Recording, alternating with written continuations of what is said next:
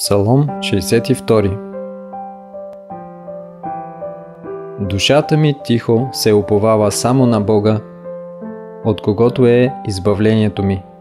Само Той е канара моя и избавление мое, и прибежище мое. Няма много да се поклатя. До кога всички вие ще нападате човека, за да го съборите като наведена стена и разклатен плед – съветват се само да го тласкат от висотата му. Обичат лъжата, с устата си благославят, а в сърцето си кълнат. Но ти, о душо моя, тихо се уповавай само на Бога, защото от Него очаквам помощ.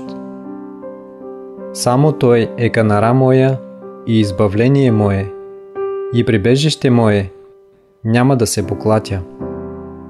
У Бога е избавлението ми и славата ми. Моята силна канара и прибежището ми е в Бога. Уповавай се на Него, народе, по всяко време. Изливайте сърцата си пред Него. Бог е прибежище за нас. Наистина, ниско поставените хора са лъх, а високо поставените лъжа. Сложени на везни – те се издигат нагоре. Те всички са по-леки от суетата. Не се оповавайте на насилие и не се надявайте суетно на грабителство. Ако изникне богатство, не прилепяйте към него сърцето си. Едно нещо каза Бог, да, две неща чух.